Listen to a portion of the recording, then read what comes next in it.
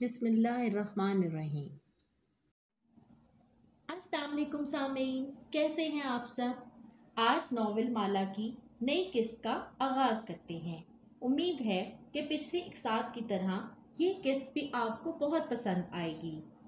ہماری حوصلہ افزائی کے لیے چینل کو سبسکرائب ضرور کریں اور اپنی رائے ہم سے ضرور شیئر کریں تاکہ ہم اس چینل کو مزید بہتر بنا سکیں۔ ہمیں آپ کے کومنٹ کا انتظار رہے گا اور اپنے اس چینل کو اپنے دوستوں کے ساتھ ضرور شیئر کریں اور ہاں لائک کرنا مت بھولیے گا۔ اللہ حافظ۔ کہتے ہیں اولاد ہوتی ہے خنجر کی طرح۔ وہ نہ چاہتے ہوئے بھی معصومیت اور سادگی سے کاٹ ڈالتی ہے۔ پھر بھی ہم اس کو تھامے رکھتے ہیں۔ بھلے خون ٹپ ٹپ گرنے لگے۔ اور کہتے ہیں ماں ہوتی ہے، سورج کی طرح۔ بھلے کتنا گرم ہو اور تم سے کتنا دور ہو، تم اس کی روشنی میں بیٹھ سکتے ہو، اس کی کرنوں کو چھو سکتے ہو، اور وہ تمہیں کبھی نہیں جلائے گا۔ نامعلوم۔ تاریخ تھی پانچ اپریل۔ شہر تھا اسلام آباد کا اور وقت تھا صبح گیارہ بجے کا۔ ہوٹل سویٹ کی اونچی کھڑکی سے دھوپ چھن کے ماہر فرید کے چہرے پہ پڑ رہی تھی۔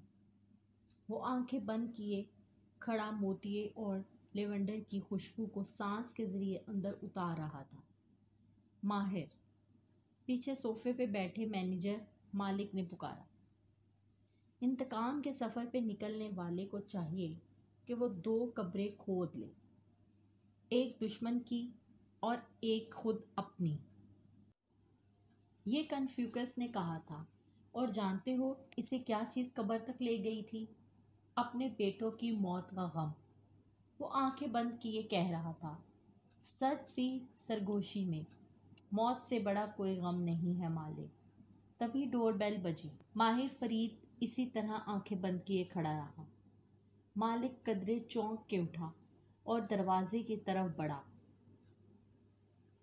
دروازے کے پار کیف جمال رقم کا پیکٹ لیے کھڑا تھا۔ مالک نے سر سے پیر تک اسے دیکھا اور پھر مڑ کے ماہر کو، وہ ہنوز اسی طرح کھڑا تھا۔ اسے آنے دو، مجھے معلوم تھا یہ واپس آئے گا۔ وہ مڑے بنا بولا۔ مالک نے اس لڑکے کو گھورتے ہوئے راستہ چھوڑ دیا۔ میں یہ نہیں کر سکتا۔ کیف صوفے تک آیا اور پیکٹ میز پہ رکھ دیا۔ اس کے چہرے پہ شدید اضطراب تھا۔ ماہر فرید بلاخر اس کی طرف گھوما۔ اس کے تاثرات سپاٹ تھے۔ ہاتھ پینٹ کی جیبوں میں تھے۔ کیا رقم کم ہے؟ سادگی سے سوال کیا۔ جو کیف جمال کو پتھر کی طرح لگا۔ آپ کو لگتا ہے آپ ہر انسان کو پیسے سے خرید سکتے ہیں؟ کیوں؟ کیا میں نے تین منٹ پہلے تمہیں نہیں خریدا؟ وہ صوفے کے پیچھے سے نکل کر کیف کے سامنے آ کھڑا ہوا۔ پھر مالک کی طرف گردن موڑی۔ ہم نے اپنے مہمان کو چائے کہوا نہیں پوچھا۔ کہوا نہیں، کافی۔ مالک نے کھنکارتے ہوئے اسے نظروں میں تادیبی اشارہ کیا۔ میں کافی پینے واپس نہیں آیا۔ میں اس سوال کا جواب لینے آیا ہوں جو آپ نے مجھے نہیں دیا۔ کیف نے ناگواری سے سامنے کھڑے وجیحا اور دراز قد آدمی کو دیکھا۔ آپ یہ کام مجھ سے کیوں کروانا چاہتے ہیں؟ آپ کسی کو بھی خرید سکتے تھے۔ اس نے یہ کیوں دوسری دفعہ پوچھا ہے؟ ماہر فرید کے لبوں پہ مسکراہٹ بکھر گئی۔ اس نے ایک نظر مالک کو دیکھا۔ اسے بتا دیں کیوں؟ ماہر۔ مالک نے سفید ابرو اٹھا کے تنبیہ کی۔ ماہر اور کیف آمنے سامنے گھڑی کی چھ اور بارہ کی سوئیوں کی طرح کھڑے تھے۔ اور مالک ایک طرف نو کی سوئی بنا بیٹھا تھا۔ میں نے تمہارا انتخاب اس لیے کیا کیونکہ مجھے تمہارا نام پسند آیا تھا۔ باقی جتنے لوگوں کی پروفائل مجھے مالک نے دکھائی تھی، ان کے نام بورنگ تھے۔ نام کے علاوہ تمہارے اندر کوئی قابل توجہ شے نہیں تھی۔ وہ مسکرا کے بولا مالک نے جیسے ریلیکس ہو کے سانس لیا۔ اس کے تنے اصاب ڈھیلے پڑ گئے۔ ایک لمحے کو اسے لگا تھا، ماہر فرید اس نوجوان کو اصل بات بتانے جا رہا ہے۔ لیکن خیر، اب تم بتاؤ کیف جمال، کہ تمہاری واپسی کی اصل وجہ کیا ہے؟ تم صرف یہ سوال پوچھنے نہیں آئے۔ کہتے ہیں، یہ ایک لمحہ ہوتا ہے جو انسان کی قسمت بدلتا ہے۔ ایک لمحے میں کوئی تعلق ٹوٹ جاتا ہے۔ ایک لمحے کی بے دہانی ایکسیڈنٹ کروا دیتی ہے۔ ایک لمحہ کسی کو کسی کی محبت میں مبتلا کر دیتا ہے اور وہ ایک لمحہ اگر انسان پکڑ لے تو وہ اپنی تقدیر بدل سکتا ہے۔ اور کیف جمال نے اس وقت اس ایک لمحے کو پکڑ لیا تھا۔ مالک کا ماہر کو منع کرنا اور ماہر فرید کا آگے سے بات بنا دینا بھلے کیف جمال ایک ناکام انسان تھا اور وہ ماہر فرید اور اس سفید بالوں والے جیسے شاطر نہیں تھا، لیکن وہ ذہین تھا اور اس ایک لمحے نے کیف جمال کو یہ بتا دیا تھا کہ کوئی وجہ تھی جس کے باعث یہ امیر سائیکوپیتھ کیف جمال سے مدد لینے میں مجبور تھا اور یہ کام کسی اور سے نہیں کروا سکتا تھا۔ ماہر فرید کو اس کی ضرورت تھی۔ اس کے ذہن میں چھایا اس برطانوی بزنس مین کا سارا روب اور خوف چٹکی میں ہوا ہو گیا۔ میں چند باتیں کلیئر کرنے آیا ہوں۔ اب کہ وہ بولا تو اس کی آواز بے خوف اور گردن اٹھی ہوئی تھی۔ چند باتیں؟ اوکے، پہلی بات، ماہر نے یہ تبدیلی محسوس کی تھی۔ اس نے پینٹ کی جیب سے ہاتھ نکالا اور انگلی پہ گننے لگا۔ اس کے انداز میں تمسخر تھا۔ پہلی بات یہ کہ بھلے میں اس کام کے لیے راضی ہوں، لیکن میری بھی ایک بہن ہے۔ وہی بہن جس کی شوہر کے تم نے پیسے دینے ہیں۔ آگے چلو۔ کیف نے ضبط سے سانس اندر کھینچی۔ جو پیسے میں آپ سے لے رہا ہوں یہ میری کسی لگژری میں نہیں لگیں گے۔ میں ان سے اپنے قرضے اتاروں گا اور نئی زندگی شروع کروں گا۔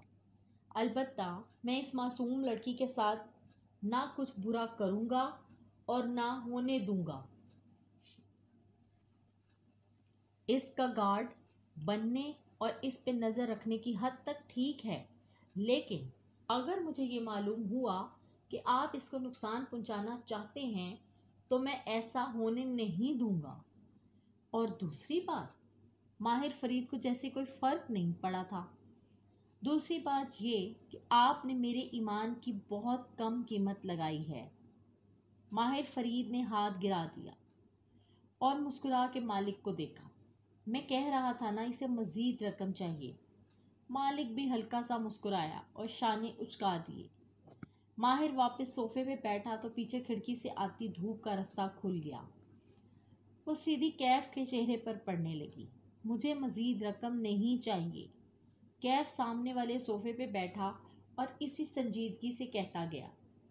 مگر مجھے اس بات کا احساس ہوا ہے کہ جو رقم آپ مجھے دے رہے ہیں، یہ تو قرضوں کی ادائیگی میں نکل جائے گی۔ مجھے اس جاب سے کیا ملے گا؟ ہوں، بولتے جاؤ۔ ماہر فرید نے اسے سوچتی نظروں سے دیکھتے ہوئے ٹانگ پہ ٹانگ جما لی۔ اس کے چمکتے بوٹ میں چھت سے لٹکتے فانوس کا عکس دکھائی دینے لگا۔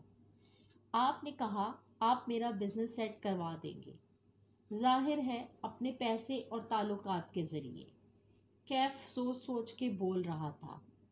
آواز نہ ڈر تھی، لیکن میں چاہتا ہوں کہ آپ یہ اپنے ذریعے بھی کریں۔ مطلب؟ مطلب یہ کہ میرے بزنس ہمیشہ فلوپ اس لیے ہوتے ہیں کیونکہ کوئی مجھے میری غلطی نہیں بتاتا۔ آئیڈیاز ہیں۔ میرے پاس مینٹور نہیں ہے۔ تم چاہتے ہو میں تمہیں مینٹور کروں؟ وہ حیران ہوا تھا۔ آپ کر سکتے ہیں۔ آپ ایک کامیاب بزنس مین دکھائی دیتے ہیں۔ وہ پہلی دفعہ ماہر فرید کے سامنے ٹیک لگا کے بیٹھا۔ دل البتہ زور سے دھک دھک کر رہا تھا۔ اتنی ساری دولت خود سے کمائی نہیں جاتی۔ کیف جمال، یہ کسی سے لی جاتی ہے۔ کیا تم نے وہ مشہور منقولہ نہیں سنا کہ you don't make up billion dollars you take up billion dollars وہ تلخی سے بولا۔ اس کے چہرے پہ اس وقت کیف جمال کے لیے ناپسندیدگی تھی۔ گاڈ فادر، کیف ہلکا سا مسکرایا، لیکن کم از کم آپ کو اس دولت کو بڑھانے کا ہنر آتا ہوگا۔ اس لیے میں چاہتا ہوں کہ آپ مجھے مینٹور کریں۔ میرے پاس بیبی سٹنگ کے لیے وقت نہیں ہے، مگر کیف نہیں سن رہا تھا، وہ کہے جا رہا تھا۔ جب تک میں آپ کے اس کام کا حصہ ہوں میں ساتھ ساتھ اپنے نئے بزنس پلان پہ بھی کام کروں گا۔ دو ماہ کے اختتام پہ جب یہ گارڈ والی جاب ختم ہو جائے گی، میں اپنا پلان لے کر آپ کے پاس آؤں گا۔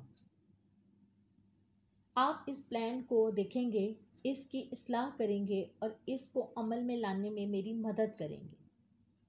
مالک کے چہرے سے لگ رہا تھا کہ اب وہ شدید اکتا چکا ہے۔ سنو لڑکے اب تم اپنے قد سے بڑی باتیں کر رہے ہو۔ ہمارے پاس اتنا وقت نہیں۔ ایک منٹ مالک۔ ماہر فرید نے ہاتھ اٹھا کے سے روکا اور کیف کی آنکھوں میں جھانکا۔ میرے منٹور کرنے سے تمہیں لگتا ہے کہ تم کامیاب ہو جاؤ گے؟ جی بالکل۔ ماہر ہلکا سا ہنسا۔ تم نے کامیاب ہونا ہوتا تو اب تک ہو چکے ہوتے۔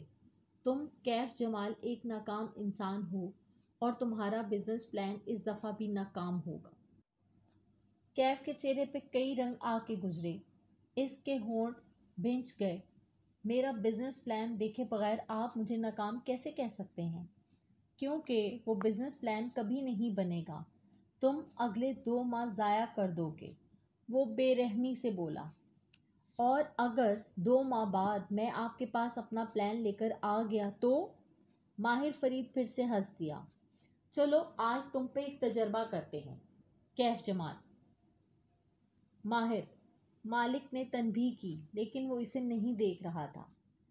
وہ اس صورتحال سے لطف اندوز ہو رہا تھا۔ میں اکثر سوچتا تھا کہ کیا ایک انسان تمام وسائل کے باوجود ناکام ہو سکتا ہے؟ کیونکہ آدھی انسانیت اپنی ناکامی کا ذمہ دار وسائل کی کمی اور غربت کو ٹھہراتی ہے۔ مگر تم میرے لیے ایک ٹیسٹ کیس ہو، کیف، تم میرے اس سوال کو حل کرو گے۔ اس کی آنکھوں میں چیلنج تھا۔ اگلے دو ماہ تمہیں یا تمہاری فیملی کو کوئی مالی پریشانی نہیں فیس کرنی پڑے گی۔ تمہیں اپنے کام کے لیے بہترین آلات دیے جائیں گے۔ جو بھی آفس اکوپمنٹ چاہیے، ان کی مالک کو لسٹ بھیج دو۔ وہ تمہیں سب مہیا کر دے گا۔ مالک اس بات سے بالکل خوش نظر نہیں آتا تھا، لیکن خاموشی اس کی مجبوری تھی۔ میں تمہیں دو ماہ دیتا ہوں۔ تم اپنا پلان بناؤ۔ دو ماہ ایک لمبا عرصہ ہے۔ تم دن کے چند گھنٹے بھی کام کرو تو یہ کر سکتے ہو۔ تم گھر سے کام کرتے ہو۔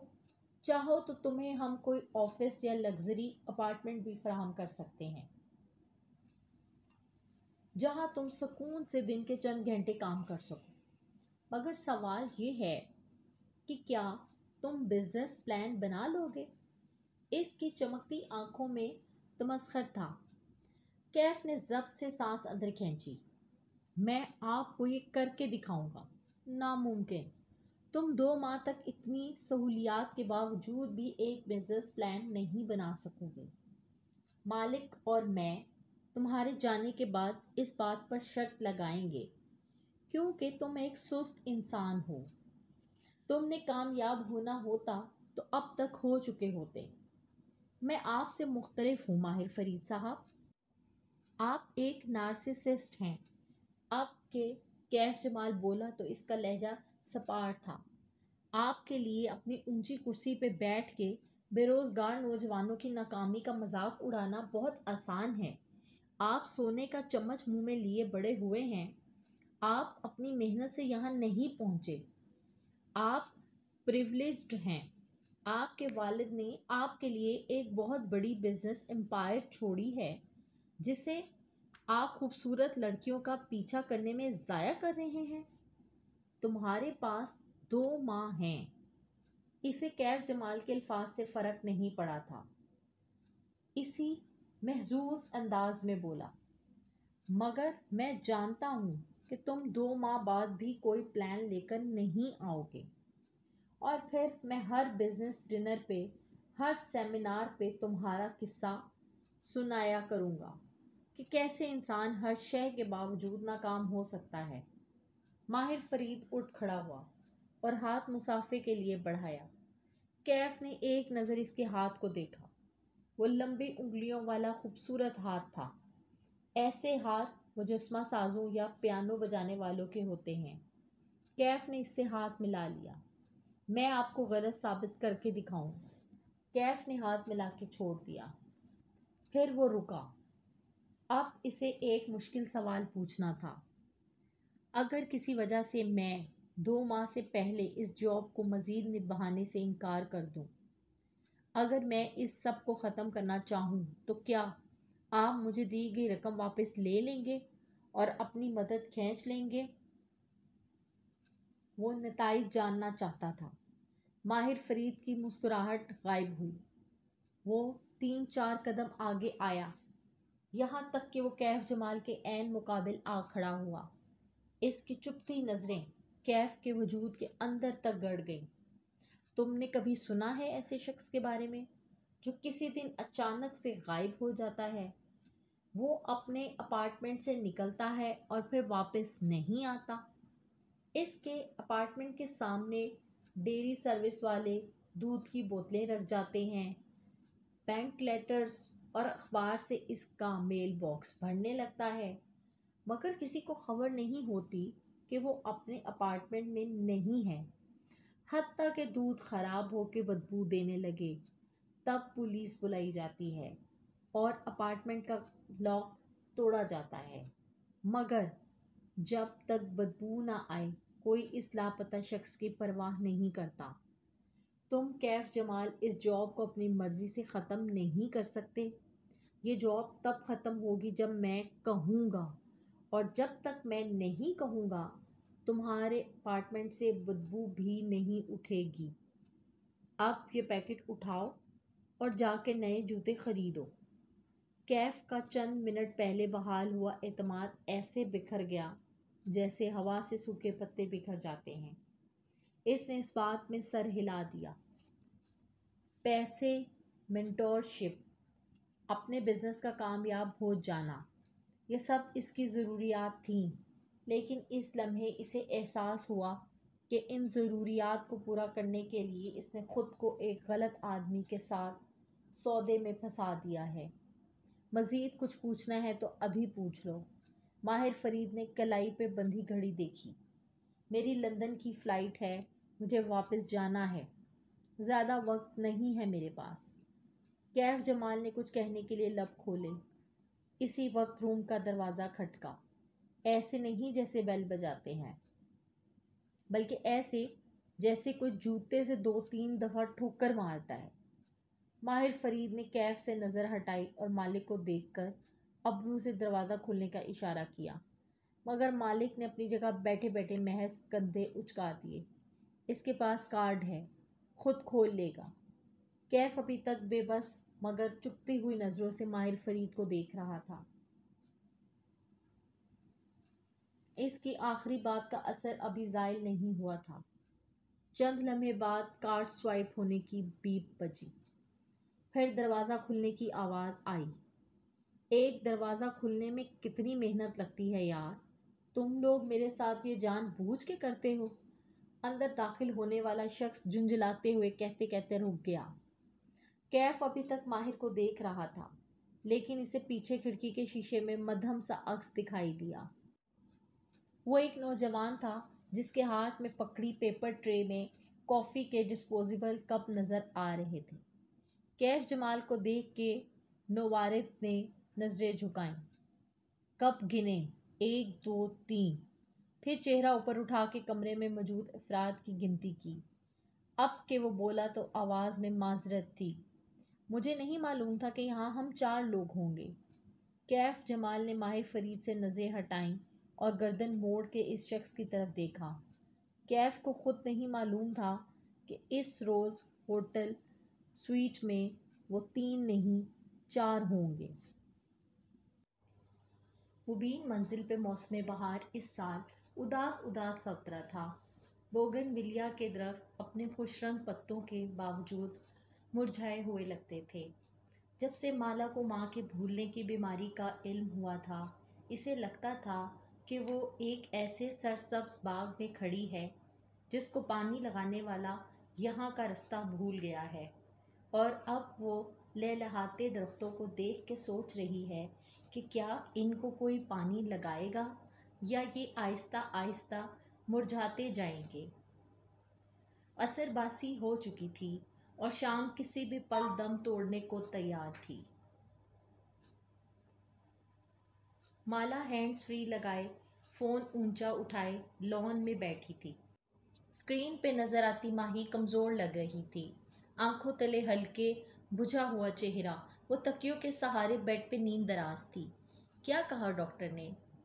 تھوڑی سی سپوٹنگ ہوئی ہے، مگر وہ بھی ٹھیک ہے۔ ماہی اداس لگ رہی تھی۔ مجھے مکمل بیڈ ریسٹ کا کہہ دیا گیا ہے۔ ویسے بھی ٹیسٹ ٹیوب بیبی ہے، رسک کی پریگنینسی ہے۔ ماہی، تمہیں مکمل بیڈ ریسٹ کرنا ہے۔ اب اوکے؟ وہ فکر مندی سے اپنی چھوٹی بہن کو دیکھ رہی تھی۔ مالا میں پاکستان نہیں آ سکوں گی۔ مجھے سختی سے منع کیا گیا ہے سفر سے۔ اس کی آنکھوں میں آنسو تھے۔ شادی کے پانچ سال میں ماہی کے دو مس کیریج ہو چکے تھے۔ اس لیے اس کی یہ پریگنینسی بہت ہائی رسک تھی۔ یار، میں نے تمہیں پاکستان آنے کے لیے تب کہا تھا جب مجھے تمہاری کنڈیشن کا نہیں پتا تھا۔ اور پھر تم یہاں آ کے کیا کر لو گی؟ ماں ذرا سا بھولتی ہی ہیں۔ ہم مینج کر لیں گے۔ لیکن اگر بیبی کو کچھ ہوا تو ماں سے زیادہ دکھی کوئی نہیں ہوگا۔ ماں نے پانچ سال اس بیبی کے لیے دعائیں مانگی ہیں۔ عمرہ، حج، تہجد، نفل، بیبی کو کچھ نہیں ہونا چاہیے۔ اور پھر ہم آئیں گے نا کینیڈا؟ وہ نم آنکھوں سے مسکرا دی ہاں پلیز تم لوگ آ جاؤ۔ اس کی آنکھوں میں امید جاگی۔ وہ مزید بات کرتی، لیکن درمیان میں غیر شناسا نمبر سے واٹس ایپ پہ میسج ریسیو ہوا تو وہ چونک گئی۔ ایک منٹ ماہی کہہ کے چیٹ کھولی۔ پھر لبوں پہ مسکراہٹ بکھر گئی۔ اس نے میسج اونچا پڑھ کے سنایا۔ کیسی ہیں آپ کشمالا؟ میں نے آپ کا نمبر اپنی والدہ سے لیا تھا۔ اگر آپ فارغ ہیں تو کیا میں آپ کو کال کر سکتا ہوں؟ آپ سے ایک کام تھا۔ یہ کون ہے؟ ماہی چونک کے سیدھی ہوئی۔ ابرو اکٹھے ہو گئے۔ زیاد سلطان کشمالا نے کندھے اچکائے اس کو مجھ سے کیا کام ہو سکتا ہے؟ جانے دو مالا، مردوں کی انا اتنی اونچی ہوتی ہے کہ وہ عورتوں کو کبھی کام نہیں کہتے۔ سوائے اس صورت میں کہ وہ بہت مجبور ہوں یا صرف گفتگو شروع کرنا کا بہانا چاہتے ہوں۔ سوال یہ ہے کہ کیا تم زیاد سے بات کرنا چاہتی ہو؟ اس سوال کا جواب کشمالہ مبین کے پاس نہیں تھا۔ زیاد اسے اچھا لگا تھا۔ ایک کامیاب انسان جس کا کریئر بھی تھا، خاندانی بھی تھا اور شکل و صورت بھی اچھی تھی۔ ریپوٹیشن بھی اس کی ایک شریف اور معزز انسان کی تھی۔ وہ اٹھائیس برس کی تھی اور وہ جانتی تھی کہ اب اسے شادی کے بارے میں سوچنا چاہیے۔ اسے شادی سے کوئی بیر نہ تھا، بس ابھی تک جو رشتے اس کو میسر ہوئے تھے، ان میں ہمیشہ کوئی نہ کوئی مسئلہ ہوتا تھا۔ اس کا کوئی خانہ ہمیشہ چیک ہونے سے رہ جاتا تھا۔ زیاد سلطان البتہ اس کے تمام خانوں میں سب سٹک لگاتا گیا تھا۔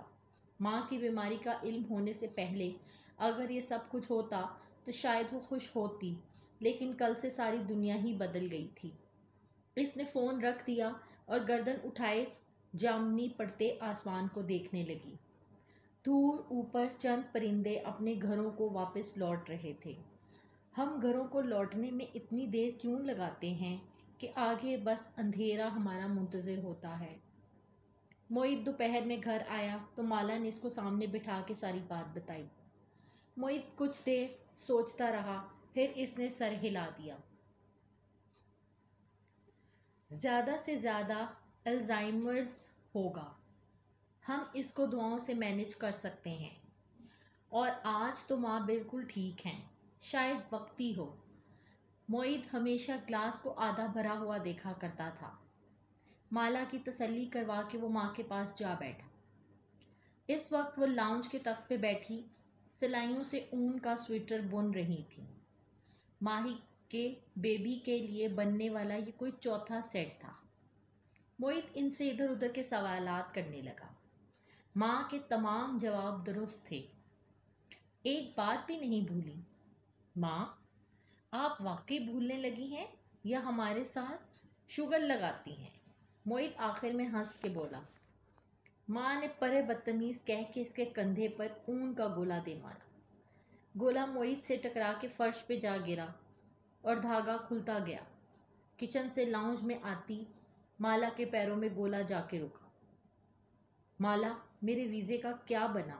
وہ مالا سے اپنے ویزے کا پوچھنے لگی۔ ماہی کا چوتھا مہینہ چل رہا تھا اور ماں کا ارادہ تھا کہ اس کی ڈلیوری کے وقت ماہی کے پاس جائیں گی۔ وہ کیسے اکیلی یہ وقت گزارے گی؟ ویزا جلد آ جائے گا ماں۔ وہ جھک کے گولا اٹھاتے ہوئے کھڑی ہوئی اور داغا لپیٹنے لگی۔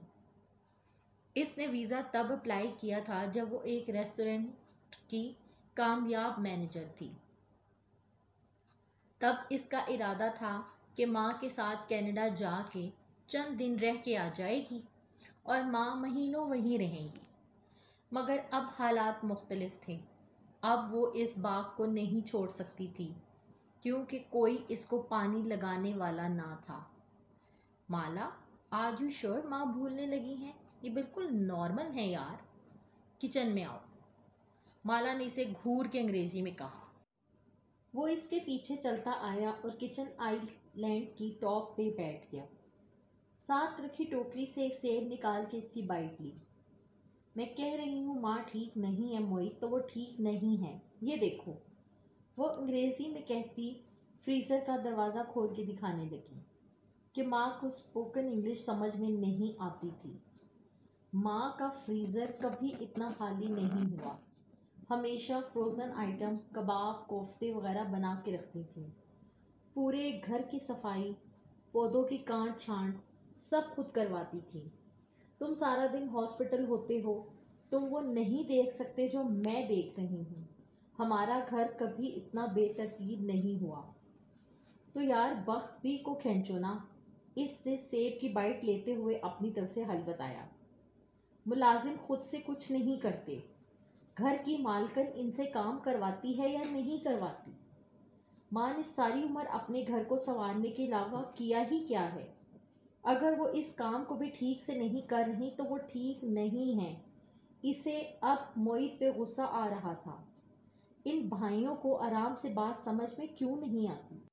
اچھا بابا، میں ایک نیورولوجسٹ سے اپوائنٹمنٹ لیتا ہوں۔ وہ کراچی گئے ہوئے ہیں، سوموار تک آ جائیں گے۔ ہم منگل کو انہی کو دکھا دیں گے۔ منگل میں چھ دن ہے موعید مالا ریلیکس میں کسی عام سے نیورولوجسٹ کو نہیں دکھا سکتا ورنہ اس طرح تو میرے سینئرز بھی بہت ہیں انگریزی بولتے ہیں میرے سامنے تاکہ مجھے سمجھ نہ آئے آئے پڑے وہ لاؤنج میں بیٹھی سلائیاں چلاتے ہوئے ان کی آوازیں سن رہی تھیں تب ہی بخت بھی باہر سے کچن میں داخل ہوئی تو موئت نے انہیں روک لیا آپ ذرا میری بات سنیں۔ اس کی آواز سخت ہو گئی۔ مجھے اچھی طرح معلوم ہے کہ آپ ماں کو میٹھا کھانے کو دیتی ہیں۔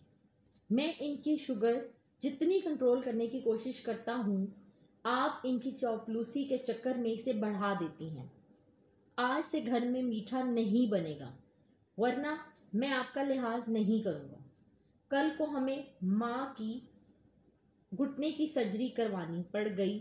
تو یہ شوگر کا کنٹرول نہ ہونا کتنا نقصان دہ ہو سکتا ہے آپ کو احساس نہیں ہے اس بات کا۔ مالا چونک کے اسے دیکھنے لگی۔ بظاہر مالا کو وہ تسلی دے رہا تھا، مگر اندر سے وہ خود پریشان تھا۔ البتہ وہ ظاہر نہیں کرے گا، وہ ماں پہ گیا تھا۔ ماں کہتی تھی کہ موئت اندر سے گہرا کنواں ہے اور شاید مالا بھی ماں پہ ہی گئی تھی۔ اپنے غم کو اندر ہی اندر لے کر گھلتے رہنا ان دونوں کی عادت تھی۔ ماں ہی ایسی نہیں تھی۔ ماں کا کہنا تھا کہ وہ ان کے ابا پہ گئی تھی۔ ذرا کوئی اسے تنگ کرے، وہ آستینے چڑھا کے اگلے کی ساری دنیا الٹنے پہنچ جاتی تھی۔ وہ پریشان ہوتی تو دل میں نہیں رکھتی تھی۔ کمیونیکیٹ کرتی تھی۔ صاف صاف بول کے اس مسئلے کو حل کرتی تھی۔ موہت اور مالا نے اس روز فیصلہ کیا کہ وہ ماں کو زیادہ سے زیادہ وقت دیں گے موہت اب ڈیوٹی آورز کے بعد کہیں نہیں جائے گا، بلکہ ماں کے پاس بیٹھے گا اور مالا تو پہلے ہی اسلام آباد واپس نہ جانے کا فیصلہ کر چکی تھی۔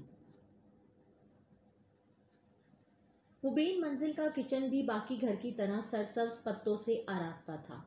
سنک کی کھڑکی کی سلاخوں کے ساتھ منی پلانٹ کی بیلیں اوپر چڑھتی دکھائی دے رہی تھیں۔ کاؤنٹر کے ہر کونے میں سبز بوتلوں میں بھی منی پلانٹ سجے تھے۔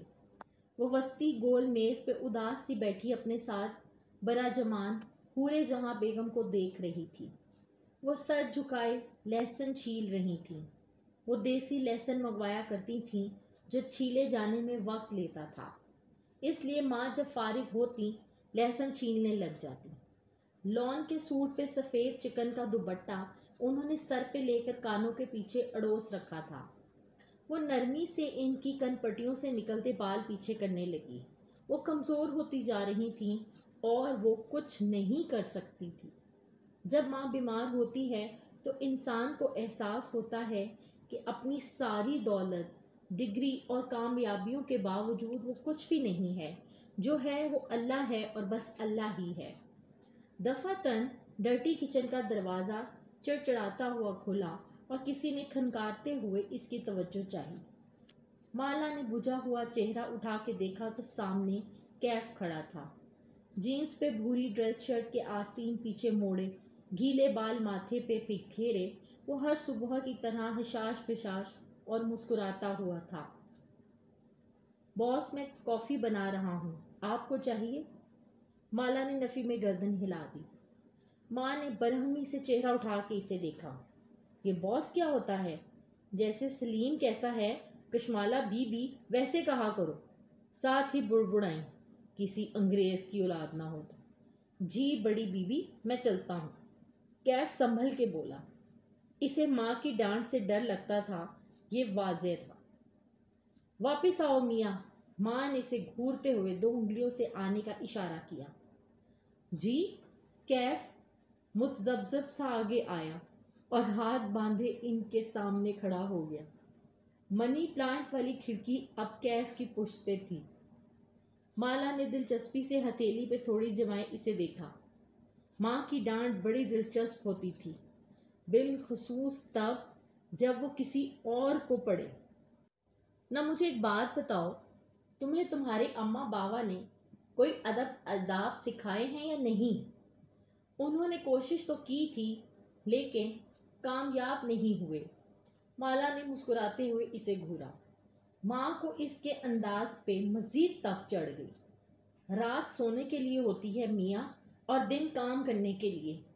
یہ جو تم رات بھر لون میں ٹہلتے ہوئے فون پہ لگے ہوتے ہو نا، ساری آوازیں آتی ہیں مجھے۔ میں؟ فون پہ؟ کیف کے چہرے پہ نہ سمجھی کا تاثر ابھرا۔ جیسے اسے ماں کی بات سمجھ نہ آئی ہو۔ مالا کو لگا شاید ماں مکس اپ کر رہی تھی۔ ماں سوتے وقت اے سی نہیں چلاتی تھی اس کی ہوا سے ان کے گھٹنوں میں درد ہوتا تھا۔ وہ کھڑکی کا ایک پٹ کھولے رکھتی تھیں۔ یوں لون کی آوازیں صاف اندر آتی تھیں۔ سوری بڑی بی بی میں دھیان کروں گا۔ کیف نے تابے داری سے بات سنبھال لی۔ ماں بڑ بڑا کے بخت بی کو آواز دینے لگی۔ کیف الٹے قدموں ڈرٹی کچن کی طرف بڑھ گیا۔ دروازہ بند نہیں کیا، بس خاموشی سے اپنی کافی بنانے لگا۔ ماں، وہ نرمی سے کہتی ماں کے قریب ہوئی۔ میں نے اس کو چوکی دار کی ڈیوٹی بھی دی ہے۔ اب پوری رات کرسی پہ فارغ تو نہیں بیٹھ سکتا۔ بیچارہ کالز کا لیتا ہوگا۔ خیر ہے۔ ماں نے ناپسندیدگی سے ڈرٹی کچن کی طرف دیکھا، جہاں کیف ان کی طرف پشت کیے کافی بنا رہا تھا۔ لڑکیوں سے باتیں کرتا ہے ساری رات۔ توبہ استغفر اللہ مالا کو ہنسی آ گئی۔ آپ کو کیسے پتا زارا زارا کی رٹ لگا رکھی تھی کل اس نے۔ کوئی دوست ہوگی اس کی۔ جانے دے۔ ماں نے خشمگی نگاہوں سے اسے گھورا۔ بی بی مرد اور عورت کبھی دوست نہیں ہوتے۔ آج کل سب چلتا ہے ماں۔ ان کو مزید تپانے کے لیے مسکراہٹ دبا کے بولی۔ کبھی اپنی ماں کا کوئی دوست گھر آتے دیکھا؟ برداشت ہوتا تم لوگوں سے؟ مرد اور عورت ازل سے ابد تک دوست نہیں بن سکتے۔ مرد مرد ہوتا ہے اور عورت عورت۔ وہ لہسن کا چھلکا اتارتے ہوئے کہہ رہی تھی اللہ نے آدم اور ہوا کو جب زمین پہ اتارا، تو مختلف جگہوں پہ اتارا۔ ان دونوں کو ایک دوسرے کو تلاش کرنے میں کئی برس لگے تھے۔ اللہ نے ہر انسان کا جوڑ اس دنیا میں اتارا ہے۔ کسی کو مل جاتا ہے اور کسی کو نہیں، مگر وہ ہوتا ضرور ہے۔ اور ہر انسان ساری زندگی اسی جوڑ کو تلاش کرتے رہتا ہے۔ دوستی کے نام پہ بھی مرد اور عورت دوسرے شخص میں اسی جوڑ کو ڈھونڈ رہے ہوتے ہیں۔ بختو، وہ بختو کو آواز دیتی ہوئی گھٹنوں پہ ہاتھ رکھے اٹھ گئی اور فریج کی طرف بڑھی۔ کافی میکر چلاتے ہوئے کیف نے ہلکی سی گردن موڑ کے کلین کچن کی گول میز پہ بیٹھی لڑکی کو دیکھا۔ وہ اپنی ماں کی بات پہ دل کھول کے ہنسی تھی۔ بالوں کی اونچی پونی ٹیل بنائے، اس کا سبز آنکھوں والا چہرہ دھلا دھلایا اور شفاف لگ رہا تھا۔ اس نے ایسے مہربان چہرے والی لڑکی کبھی دیکھی تھی کیا؟ شاید نہیں۔ بختو، یہ بچے ہوئے سالن نکالو اور ڈبوں میں ڈال کے ہمسایوں کے ملازموں کو دے آؤ۔ ماں، روز اتنا کھانا نہ بنایا کریں۔ اگر آس پاس بانٹنا ہی ہوتا ہے، آج ایک سالن بنا لیں اور ساتھ ان پرانے سالن کو چلا لیں۔ ماں نے گھور کے اسے دیکھا؟ اب میں گھر کے ملازموں کو باسی سالن دوں گی اور اپنے بچوں کو نیا سالن؟ بی بی، ایسی تفریح تمہاری ماں نے کبھی نہیں کی۔ اف ماں، میں کھا لوں گی پرانا سالن۔ آپ بخت بھی اور سلیم کے لیے نیا بنا لیں۔ جل کے بولی ماں نے ان لوگوں کو ملازم نہیں رکھا ہوا تھا۔ انہوں نے ماں کو مالک رکھا ہوا تھا۔ کھانا کھلانا اللہ تعالیٰ کو بہت پسند ہے۔ کھلانے سے کسی کا رزق کم نہیں ہوتا۔ ماں فریج کا دروازہ بند کر کے اس طرف مڑی تو دیکھا، ڈرٹی کچن میں کھڑا کیف اپنی تازہ بنائی کافی کا گھونٹ بھر رہا تھا۔ ساتھ ہی اس کے چہرے پہ ناپسندیدگی در آئی۔ منہ کیوں بنا رہے ہو؟ کیف نے چونک کے انہیں دیکھا۔ وہ اسے ہی گھور رہی تھی اس نے جلدی سے کپ نیچے کیا۔ اتنی اچھی نہیں بنی اس لیے۔ کیوں میاں؟ وقت بھی جو چولہے کے ساتھ کھڑی تھی، چمک کے بولی۔ جب میں نے چائے بنا کے دی تھی تو کہتے تھے، میں چائے نہیں پیتا۔ اب یہ ولیتی کافی حلق سے نیچے نہیں اتر رہی۔ کیف نے مگ کاؤنٹر پہ رکھا اور ان کے سامنے آیا۔ اب کہ وہ بولا تو انداز جلا کٹا تھا۔ میں نے کہا تھا بخت بھی کہ میں ایسی چائے نہیں پیتا جو آپ بناتی ہیں۔ کالے پانی جیسی۔ میں خالص دودھ کی کڑک چائے پیتا ہوں جو کافی دیر تک چولہے پہ کڑتی رہے۔ اوکے؟ نخرے تو دیکھو، بخت بھی برا مان گئی اور یہ کافی میکر میں نے کشمالہ بی بی کے لیے نکالا ہے، کیونکہ وہ بھی آپ کے ہاتھ کی کافی نہیں پی سکتے۔ چبا چبا کے بخت بی کو اطلاع دی۔ مالا کو لگا کہ اب کیف کو ماں سے ڈانٹ پڑنے والی ہے، لیکن خلاف توقع ماں اسے چند لمحے دیکھتی رہی، پھر آہستہ آہستہ واپس اپنی کرسی تک آئیں۔ تو خود اپنے لیے بنا لیا کرو کڑک چائے۔ ماں کا انداز عام سا تھا۔ مجھے بنانی نہیں آتی، اس نے کندھے اچکا دیے۔ واو کچھ تھا جو کیف کو نہیں کرنا آتا تھا۔ پہلے کون بنا کے دیتا تھا؟ کیف نے جواب نہیں دیا اور ڈرٹی کچن کی طرف بڑھ گیا۔ واپس آؤ اور قہوے کا پانی رکھو۔ میں تمہیں سکھاتی ہوں کڑک چائے بنانا تاکہ تمہارے نخرے ختم ہو ماں نے گھور کے اسے واپس آنے کا اشارہ کیا۔ کیف ہلکا سا مسکرا دیا۔ ماں کی ڈانٹ کے پیچھے بھی ان کی فکر تھی۔ چاہے ملازم بھی ہو، لیکن اسے اس کی پسند کا کھانا پینا ملنا چاہیے۔ وہ چپ چاپ واپس آیا اور ان کی ہدایت کے مطابق قہوہ رکھنے لگا۔ مالا کو اس سے ہمدردی ہوئی۔ ماں کے ساتھ جو کچن میں کام کرتا تھا، اس کو ڈانٹ بھی ساتھ ساتھ پڑتی تھی۔ البتہ کچھ تھا جو اس کے ذہن میں چبھا تھا۔ کسی کانٹے کی طرح جو فصلوں میں چلتے ہوئے پائنچوں کے ساتھ چپک جاتے ہیں۔ اس کے گھر میں کون تھا جو اسے اتنی محنت سے کڑک چائے بنا کے دیا کرتا تھا؟ کیف نے اس سوال کا جواب کیوں نہیں دیا تھا؟ تو کیسی لگی آپ کو یہ کہانی؟ کمنٹ میں ضرور بتائیے گا۔ ایسے بہت سے افسانے اور ناول سننے کے لیے میرے چینل ناولز ہی ناول کو سبسکرائب کریں اور گھنٹی کا بٹن ضرور دبائیں۔ لائک کریں، شیئر کریں اور کامنٹ کرنا مت بھولیں۔ شکریہ۔